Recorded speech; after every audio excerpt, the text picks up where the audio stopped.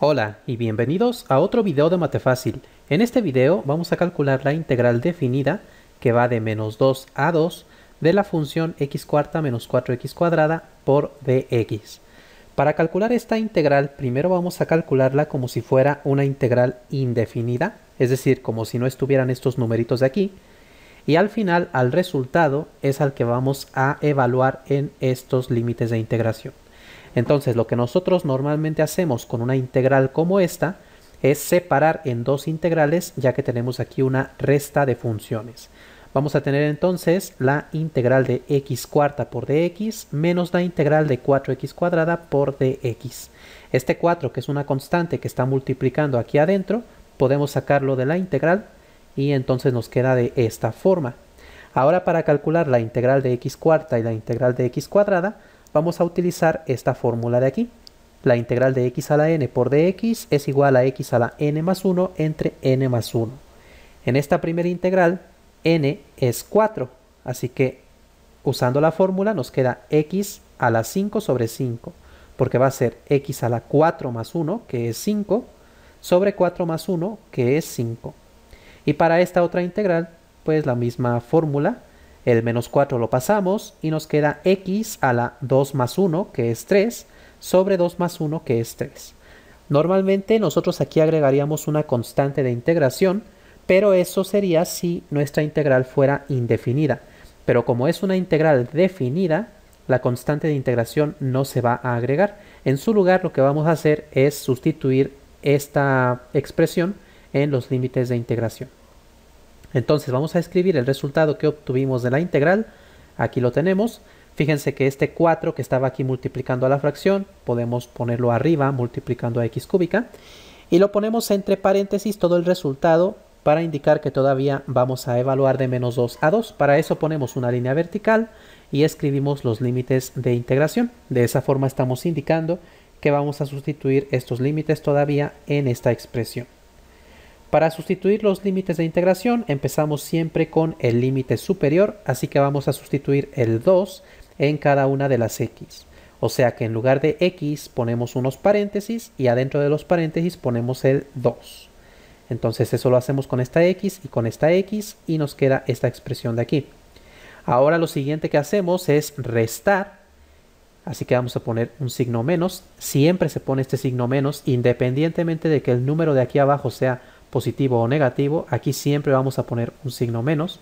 Y ahora vamos a sustituir el valor de abajo en cada una de las x.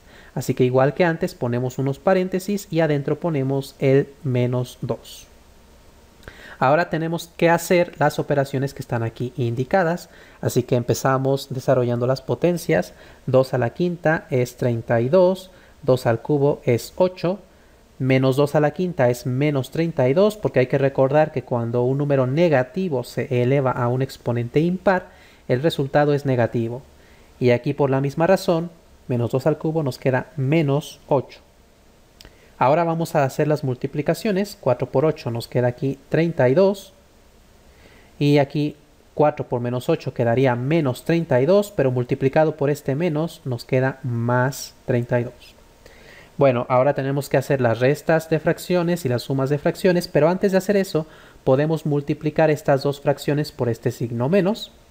Entonces, el 32 quintos y el menos 32 tercios los pasamos exactamente igual y quitamos los paréntesis, no son necesarios, de hecho podríamos haberlos quitado desde acá, porque aquí antes no hay nada multiplicando, así que simplemente se quitan.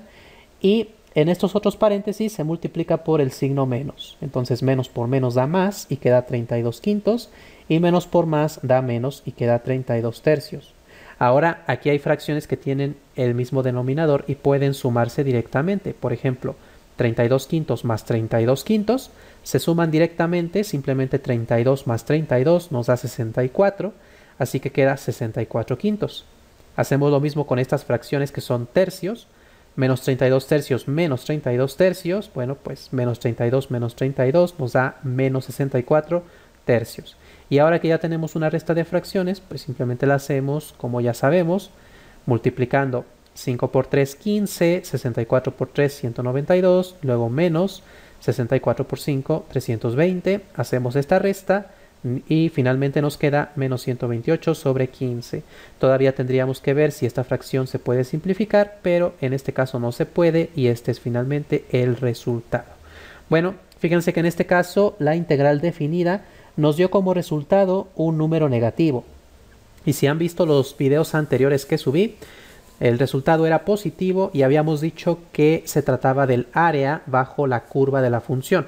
Pero ¿Por qué en este caso nos da un número negativo si se trata de un área? Y generalmente las áreas son números positivos.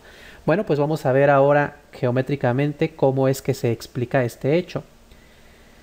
Si nosotros graficamos la función x cuarta menos 4x cuadrada, bueno, f de x igual a x cuarta menos 4x cuadrada, obtenemos esta línea en rojo.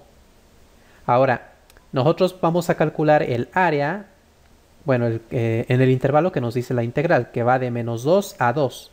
Este intervalo es sobre las x. Entonces aquí está el menos 2 en x y aquí está el 2 en x. El área siempre está limitada entre el eje x y la gráfica de la función. Así que en este caso nos quedaría esta área en amarillo porque está limitada por el eje x y por la curva. Ahora, como la curva en este caso nos quedó por debajo del eje X, bueno, pues resulta que el área también nos está quedando por debajo del eje X. Y lo que hace la integral es asignar un signo al área dependiendo de si el área está por encima del eje X o por debajo del eje X. Cuando el área está debajo del eje X, como en este caso, el signo para el área es negativo, que fue lo que obtuvimos aquí como resultado. Y en los videos anteriores habíamos obtenido un área positiva, porque el área quedaba arriba del eje X. Entonces esa es la explicación de por qué en este caso nos quedó un número negativo. Bueno, en el siguiente video vamos a ver cómo calcular ahora estas integrales definidas. Podrían ya ustedes intentarlo, son integrales muy sencillas. La integral de 0 a pi del seno de x por dx y la integral de 0 a pi del coseno de x por dx. También será muy interesante ver cómo se interpretan estas integrales por medio de la gráfica de esas funciones. Todo eso lo explicaré en el siguiente video, así que los invito a que lo vean. Y si les gustó este video, apóyenme regalándome un like, suscríbanse a mi canal y compartan mis videos. Y recuerden que si tienen cualquier pregunta o sugerencia, pueden dejarla en los comentarios.